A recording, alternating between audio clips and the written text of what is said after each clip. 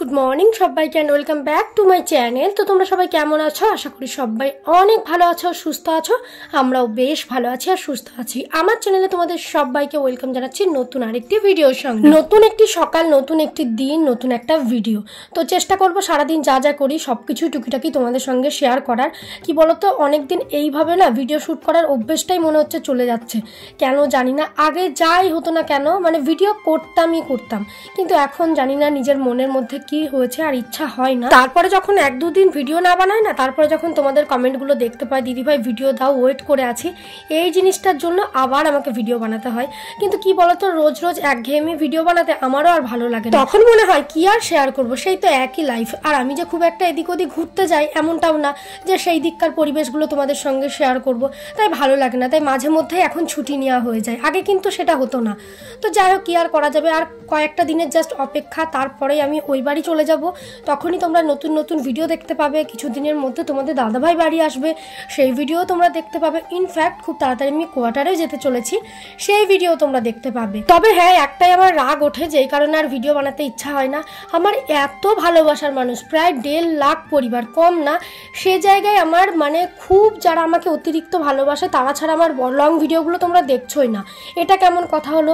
দিদিভাই, একদিন ভিডিও না দিলে তোমরা আমাকে মানে পাগল করে দাও, কিন্তু ভিডিও দিলে সেই ভিডিওগুলো তোমরা দেখছ না। একটা কমেন্ট করবে তো তোমাদের কাছে কি নোটিফিকেশন যাচ্ছে না?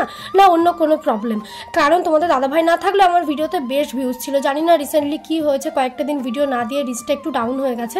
তো যাই হোক, কিছু করার নেই। আমারও নিজের মনটা একটু খারাপ ছিল, যার জন্য ভিডিও দিতে পারিনি। কি আর করা যাবে? জানি তোমাদের দাদাভাই আসলে তোমরা আবার আগের মতনই ভালোবাসা দেবে। যাই হোক, এইদিকে দেখো, সকালবেলায় উঠে মন চাইলো কিছু একটা খেতে। আর ঘরে দেখলাম দু প্যাকেট ইপি রয়েছে। ইপি খেতে আমার খুব একটা ভালো লাগে না। ম্যাগি সব থেকে বেশি ভালো লাগে। আর গ্রামের সাইডে তো ম্যাগি পাওয়াও যায় না। একমাত্র বাজারে গেলে সেই বড় প্যাকেটগুলো কিনতে পাওয়া যায়। এখন আর গ্রামের সাইডে ছোটোখাটো দোকানগুলোতে ম্যাগির প্যাকেট অ্যাভেলেবেল নেই। এই ইপি নুডলস এগুলোই পাওয়া যায়।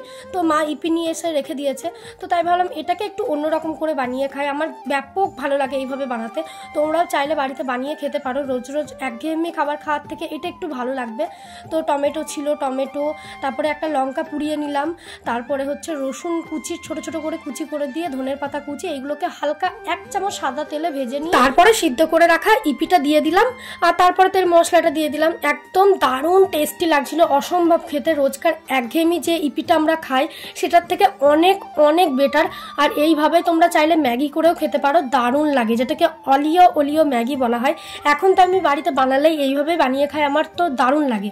যাই হোক, তারপরে আমার চলে এসেছিল একটা পার্সেল এই পার্সেলটা না বাড়িতে দিয়ে যায়। ফ্লিপকার্টের আমার যত পার্সেল আছে, সব চলে আসে অটোমেটিক বাড়িতে। মানে আমাকে ফোন পর্যন্ত করে না অটোমেটিক বাড়ির সামনে চলে আসে। কারণ উনি বাড়ি চিনে কিন্তু যেগুলো প্রমোশনের দুই একটা প্রোডাক্ট আসে যেগুলো ডিরেক্ট আসে তো সেইগুলো আসে না খুব কম আসে। বেশিরভাগটা ওই দূরে মানে হয়তো যত দূর পর্যন্ত পার্সেল আছে সেখানে রেখে দেয়। আর গ্রামে এখানে যদি দুই তিনটা পার্সেল থাকে তবেই আসে। তো আমাকে ফোন করেছিল যে একটা জায়গায় রেখে দিলাম তুমি একটু নিয়ে নিও। ওই সাইডে তো আমার পার্সেল নেই আজকে আর যাব না। আমি বললাম বেশ ঠিক আছে। আর আমাদের তো প্রায়ই যাতায়াত হয় মোড়াগাছার ওই সাইডে তো ওখানেই ছিল তারপরে নিয়ে আসা হয়েছে একদিন পরে। তো সেই দিন আর কেউ যায়নি বাড়ি থেকে তার জন্য আর আনা হয়নি। দেখতে পেলে একটা প্যাডের প্যাকেট রয়েছে, আরও একটা জিনিস রয়েছে, সেগুলো যখন ভিডিও করব দেখতে পাবে। ইনফ্যাক্ট শুধুমাত্র প্রমোশনের জন্য আমি নিজেও কিন্তু এভারটিনের প্যাড ইউজ করি। সেই জন্য এটাকে আমি এতটা ভালোবাসি, আর আমার ঘরে যখন থাকে না না, তখন আমি নিজেও অর্ডার করি। তো মেয়েদেরকে বলব, তোমরাও চাইলে অর্ডার করে দিতে পারো। সত্যি অনেক, সব দিক থেকে কিন্তু আমাদের লাভ আছে। কারণ প্যাকেজিংয়ে অনেকগুলো থাকে প্লাস দামটা একটু কম প্লাস অন্যান্য প্যাডের তুলনায় অনেকটা লং তো চাইলে তোমরা ইউজ করতেই পারো। তারপরে মা আমাকে বলল ফ্রিজটা একটুখানি পরিষ্কার করে দেওয়ার জন্য। তো এইদিকে দেখতে পাচ্ছ ফ্রিজের ভিতরে যা যা ছিল সব কিছু বার করে দিয়েছি। কালকেও একবার পরিষ্কার করব বলে ঝোঁক নিয়েছিলাম। সকাল থেকে ফ্রিজটা অফ করে রেখেছি, তারপরে আর ভালো লাগেনি। জানি না কেন যে আমি এত ল্যাদ খাই সারাদিন বিছানায় শুয়ে শুয়ে। তো আজকে তো আমাকে মুছতেই হতো, কালকে একবার মুছিনি। তো সেই জন্য সকালবেলাতে মা ফ্রিজটা অফ করে রেখেছিল। যা যা জল বেরোনো সব বেরিয়ে গেছে। তো এবার বাদ বাকি যেটুকুনি পরিষ্কার পরিচ্ছন্ন করে নেওয়া, সেটা আমি করে নেব। আর তোমরা তো জানোই ফ্রিজটা আমি ক্লিন করি, সেটা এ বাড়িতে হোক বা ও বাড়িতে। আমি খুব ভালো করে পরিষ্কার রাখতে পারি। এই ফ্রিজটা কিন্তু অনেক দিন হয়ে গেল প্রায় দুই তিন বছর। এখনও দেখো পুরো মনে হয় নতুন কেনা। আমার সব জিনিসের প্রতি যত্নটা একটু বেশি। মানে সব জিনিস বেশ একটু চকচকে থাকবে, পরিষ্কার থাকবে। এই কাজগুলো করতে ভালো লাগে, সেটা দেখেছ ও বাড়ি হোক বা এ বাড়ি আমি সব জায়গাতেই করে দিই। তো যাই হোক রান্না বান্নার প্রতি অতটা ন্যাক না থাকলেও এই জিনিসগুলো বেশ মানে ভালো লাগে মানে ভালো লাগা আর কি। আর আমি মানুষটা এমনই যেটা আমার ভালো লাগে মন থেকে, আমি সেটাই করতে বেশি ভালোবাসি। যেটা আমাকে জোর করে করানো হয়, সেটা আমি একটুও ভালোবাসি না। তো এইদিকে দেখো, তোমাদের সঙ্গে বকবক করতে করতে ফ্রিজটা ক্লিন করা হয়ে গেছে। আর মা ওই যে নিচের যেখানে ভেজিটেবলসগুলো থাকে, ওটা বাইরে থেকে একদম ধুয়ে নিয়ে আসছে। আচ্ছা আর ফেব্রুয়ারি তো শেষই হতে চলল, মার্চের একদম ফার্স্ট উইক থেকে আমার এক্সাম তো আমিও না খুব করে চাইছি যে যত তাড়াতাড়ি এক্সামটা শেষ হয়ে যায়, আমি ওই বাড়ি যেতে পারব। অনেকগুলো দিন হয়ে গেল, বিশ্বাস করো। আমার নিজেরও আর মন টানছে না এখানে থাকার জন্য। তো যাই হোক, কী আর করা যাবে? এক্সাম তো আর ওখান থেকে আমি মানে এসে দিতে পারব না। তো সেই জন্য এক্সামটা দিয়ে নিয়ে আমি ছুটবো। আমারও আর ভালো লাগছে না। কতদিন হয়ে গেল, নিজের রুম নিজের ফার্নিচার তো সেগুলো থেকে দূরে আছি। তো খুব তাড়াতাড়ি যাব জাস্ট এক্সামটা শেষ করেই পাক্কা আমি পরের দিন ছুটবো। মানে আমার নিজের এতটা মন টানছে ওখানে যাওয়ার জন্য, আমি তোমাদেরকে বলে বোঝাতে পারব। মনে হচ্ছে আমার সেই ড্রেসিং টেবিল আমার রুম কত দিন হয়ে গেল মিস করছি। হ্যাঁ এতটা টাইম কখনো হয় না। আমি এর আগেও তোমাদের দাদাভাই প্রায় ছ মাস পর, সাত মাস পর বাড়ি এসেছিল। তার মাঝে আমি দুই, তিনবার গিয়েছিলাম। তো জানোই আমি ওখানে গেলে থাকি বেশ ভালো, কুড়ি দিন, তিরিশ দিন। আর অ্যাকচুয়ালি কি বলতো, আমার বাড়িটা না মানে এই যে মন হলো আধ ঘণ্টা রাস্তা, গেলাম আর সন্ধ্যাবেলায় চলে এলাম এমন আসলে আমার শ্বশুর বাড়ি আর বাপের বাড়ির ডিস্টেন্স কিন্তু অনেকটা। শ্বশুরবাড়ি থেকে যদি আমি সকালে বেরোই, তোমরা তো দেখেছ আমার ভিডিওতে বহুবার, সকালে যদি বেরোই আমি এখানে পৌঁছাই, দুটো, তিনটে এরকম বেজে যাই মানে অনেকটা জার্নি খুব কষ্ট হয় শরীরে প্লাস আসা, যাওয়া, প্রচুর খরচা সব থেকে ইম্পর্টেন্ট যতই ইনকাম করি না কেন তো দুটো মানুষ আমরা আসা যাওয়া করি সব সময়, তো সেগুলোর খরচা তাই চাইলেও না, যে এই মন হলো পাঁচ দিন পর চলে গেলাম, এটা করতে পারি না। যখন যাই, একবারে চলে যাই কুড়ি দিন, পঁচিশ দিন, আঠেরো দিন এমন করে থেকে তারপরে আবার আসি। কারণ দুটো মানুষের যাওয়া, আসা, তাদের শরীরে কষ্ট, জার্নি, এগুলো তো হয়ই। বাবা মানে শ্বশুরমশাই দিতে আসে, সেগুলোর কাজ কামাই হওয়া, তো এইগুলো তো লেগেই রয়েছে। তাই মন চাইলেও যে আজকে মন হলো, কালকে চলে গেলাম, এমনটা যেতে পারি না। তো সত্যি এবার খুব মন টানছে যেতে হবে। খুব তাড়াতাড়ি আমার এক্সামটা শেষ হয়ে গেলে ওখানে চলে যাব। আবার যদি বাড়িটাও কাছাকাছি হতো, তাহলে তো কোনো ব্যাপারই ছিল না। পাঁচ দিন এখানে, পাঁচ দিন ওখানে চলে যেতে পারতাম। এতটা ডিস্টেন্স চাইলেও দুই একদিনের মধ্যে আসা যাবে না। যাই হোক, কি আর করা যাবে? জাস্ট কয়েকটা দিন আর। আর আমি যখন ওখানে চলে যাব, তখনই তোমাদের কাছে সবটা ক্লিয়ার হয়ে যাবে। আমার সঙ্গে কারোর কি প্রবলেম বা কিছু কি না, যারা মানে যারা নিজে থেকে ভেবে বসে আছো, একটা বোন বা দিদি আমাকে একটা আইডিয়া দিয়েছে, দিদি ভাই, তুমি তোমার শ্বশুর মশাই বা শাশুড়িমা যখন ফোন করবে ভিডিও কলের একটা স্ক্রিন রেকর্ডিং নিয়ে শেয়ার করবে, তাহলে যাদের এত জ্বলন হচ্ছে, তাদের মুখে ঝামা ঘুষে যাবে।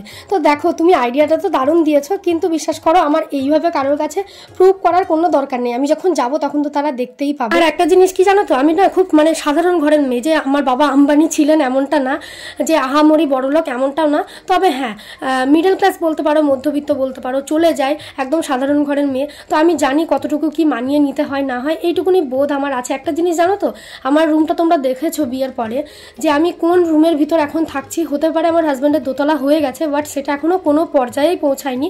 মানে এখনও প্রচুর কাজ বাকি রয়েছে। একদম মানে আমার বাড়িটা তো একদম সিম্পল দেখেছ, কিন্তু তবুও না, আমার সবসময় মানে যেটা শান বা মেঝে বলে, সেখানে পা পড়ে। আর আমি যে রুমটায় থাকি ওখানে, সেটা তোমরা দেখেছ এখনও না প্লাস্টার হয়েছে, না নিচে স্নান হয়েছে, সবসময় ধুলো উঠতো। আমি সেটাকে জল নিচ থেকে উপর পর্যন্ত জল তুলে তুলে, জল ঢেলে ঢেলে মানে মুছে এখন কোনো রকম একটা স্টেবল পরিস্থিতিতে নিয়ে এসেছি। না ছাড়া তোমরা আগে দেখেছ আমার রুমের অবস্থা। সেটাকে সুন্দর করে গুছিয়ে গাছিয়ে রাখা। মানে আমি ওই যে, কি বলতো? মানে এখানেও আমার যতটা স্ট্রাগল লাইফ ওখানেও তাই হাজব্যান্ডের সঙ্গে। এখনও যেহেতু সব কিছু ঠিকঠাক হয়নি, একটা জব করলেই তো সব কিছু পাওয়া হয়ে যায় না? যেমন একটা বোন বলেছে দিদিভাই, তোমার হাজব্যান্ড তো জব করে, তোমার তো সোনা থাকবেই। ওই যে গোল্ড জুয়েলারিটা শেয়ার করলাম সেখানে। দেখো গোল্ড জুয়েলারি তো, ওই গোল্ড জুয়েলারিগুলো আমার বাড়ি থেকে দেওয়া। ওগুলো তো আমার বর বা শ্বশুর বাড়ি থেকে দেয়নি। ওটা আমার মা সেভিংস করে কষ্ট করে দিয়েছে। আর রইল পরে সার্ভিসের কথা। তো দেখো, চাকরি বাকরি সবাই করে, কিন্তু যারা চাকরি করে, তারাও জানে একটা সংসার চালাতে গেলে কতটা কষ্ট। বিশেষ করে যখন একটা বাড়ি হয়, তখন কত কি হয় মানে কতটা পরিমাণে টাকার প্রেশার থাকে, সেটা তো তোমরা জানোই। বিশেষ করে তোমাদের দাদাভাই বাড়িটা দেখেছ, অনেকটা বড় করে বানানো হচ্ছে। তো এখন আমাদের সিচুয়েশনটা আমরাই জানি। সেই জন্য দেখতে পাবো আমি কোনো রকমের ফালতু কোনো খরচা কিছু, কোনো কিচ্ছু করি না। আমার হাজব্যান্ড আমাকে একটা কথাই বলে যে, আমি লাকি তোমার মতন মেয়ে পেয়ে যে, এরকম মানে আমার কাছে এসে অ্যাডজাস্ট করে নিচ্ছে এতটা পরিমাণ। তখন আমি তাকে বলি যে, একটা দিন কষ্ট করছি, দুটো দিন কষ্ট করছি, কিন্তু দু বছর পর তো সব কিছু নর্মাল হয়ে যাবে। তাই এখন একটু কষ্ট করে নিই পরে তো আরামসে থাকব আমরা, না? তো এই জন্য আমিও স্ট্রাগল করি আর্নিং করার চেষ্টা করি, ওইদিকে ও বাইরে পড়ে থাকে। তো এই তো ব্যাপার, এইভাবে সুখে দুঃখে কেটে গেলেই জীবন হয়ে গেল, এটাই চাই, এর থেকে বেশি আর কিছু চাই না। তো তারপরে দেখো রান্না বান্না হলো, মা আমাকে একটুখানি খুন্তি নাড়ার দায়িত্ব দিয়ে গেছিল। তারপরে এইদিকে দেখো, আজকে অনেক দিন পর মানে পেন ড্রাইভ পেয়েছিলাম অনেক দিন আগে, কিন্তু ভিডিওটা অন করা হচ্ছিল না মানে আমার বিয়ের ভিডিও তো ফাইনালি আজকে আমাদের দেখার টাইম হয়েছে, তো সবাই মিলে বসে পড়েছে আমার বিয়ের ভিডিও দেখার জন্য। এইদিকে দেখতে পাচ্ছ। দেখছিলাম আমার পুরনো স্মৃতিগুলো সব মানে মাইন্ডে আসছিল। প্রত্যেকটা মেমোরি খুব সুন্দর ছিল, দেখতেই পেলে। আর সত্যি কথা বলতে ভিডিওগুলো খুব সুন্দর হয়েছে। তোমরা যদি আমার বিয়ের ভিডিও দেখতে চাও, তাহলে কমেন্ট করো। আমি পার্ট ওয়ান পার্ট টু করে দেবো, কারণ একবারে তিরিশ তিরিশ মিনিটের ভিডিও দেওয়া যাবে না, তাই দুটো ভাগ করে দেবো। তোমরা যদি দেখতে চাও তবেই, তোমরা তো অলরেডি আমার বিয়ের ভিডিও সব দেখেছ, তবুও যদি দেখতে চাও মানে কীভাবে সব কিছু এডিট করা হয়েছে, না হয়েছে পরপর, তো তাহলে আমি নিশ্চয়ই পোস্ট করব পার্ট ওয়ান পার্ট টু করে। এটা ছিল সব থেকে বেস্ট মুভমেন্ট তো তোমরা যদি দেখতে চাও তাহলে কিন্তু অবশ্যই অবশ্যই কমেন্ট করবে আমাকে।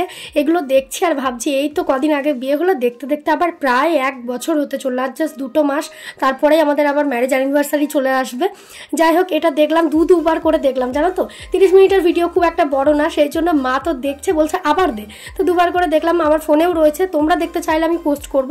তারপরে সন্ধ্যাবেলা আজকে পায়েস বানানো হবে। তো এই জন্য দেখতে পাচ্ছ দুধ নেওয়া হয়েছে তো পায়েস বসিয়ে দিয়েছে মা। আচ্ছা একটা কমেন্ট আমি অতিরিক্ত পরিমাণে পাচ্ছি প্রচণ্ড বেশি। মানে সবাই এক্সাইটেড দিদি ভাই তুমি বেবি কবে নেবে? তোমাদের বেবি প্ল্যানিং কবে? এই কোয়েশ্চেনটা আমি বহুবার পাচ্ছি মানে এমনি তো ডেলি ভিডিওতে পাচ্ছি প্লাস কিউএনএতে তো। তোমাদেরকে বলছি বেবি প্ল্যানিং তো আছে, তবে এখন না জাস্ট আর কটা দিন আমরা ওয়েট করব। মানে এখনও তো একটা বছরও হয়নি, দুটো তিনটা বছর যাক, তারপরে প্ল্যান করার ইচ্ছা আছে। এখন আপাতত বেবি প্ল্যানিংয়ের কোনো মানে প্ল্যানিং নেই। তোমরা জাস্ট কটা দিন ওয়েট করো, সবাই বলছো দিদি ভাই মাসি কবে হব, পিসি কবে হবে? তোমাদের জন্য এই ভিডিওতে কথাগুলো বলা এখনও মোটামুটি দুটো বছর তোমরা ওয়েট করো, তারপরেই তোমরা মাসিমণি হবে। তো যাই হোক, এইদিকে দেখো, এই যে দেখতে পাচ্ছ গোবিন্দভোগ চাল, এটাকে ঘি দিয়ে না মাখিয়ে রাখা হলো। আমি কখনো এর আগে এমনভাবে খাইনি, জানি না মা কেন এইভাবে আজকে পায়েস বানাচ্ছে। খাওয়ার পরে কিন্তু সত্যি এটা টেস্ট দারুণ ছিল, মারাত্মক রকমের। এর সাথে কাজু বাদাম আর কিশমিশ দিলে আরও ভালো লাগতো, কিন্তু কিনতে পাঠানো হয়েছে বাট যাকে দেওয়া হয়েছে সে এখনও এসে পৌঁছায়নি, তাই দেওয়াও হয়নি। মানে পায়েস রান্না হয়ে যাওয়ার পরে সে বাড়িতে পৌঁছেছে।